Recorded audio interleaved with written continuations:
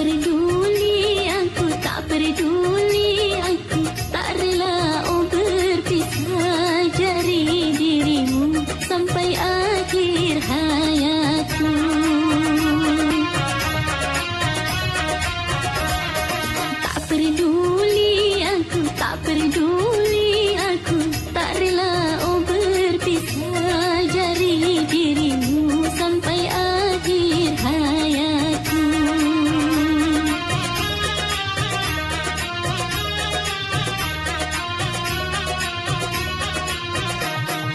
Seorang istri diibaratkan seperti sebuah tanaman.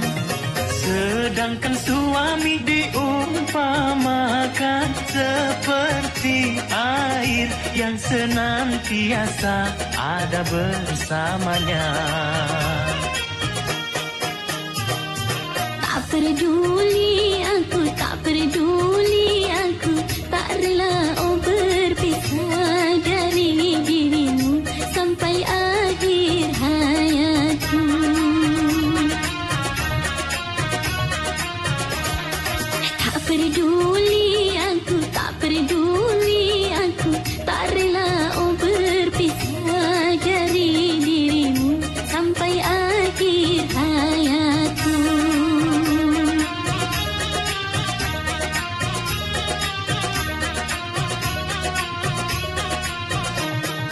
Seorang istri diibaratkan seperti sebuah tanaman.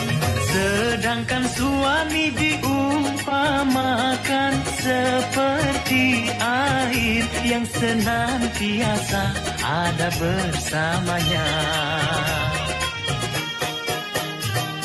Tak peduli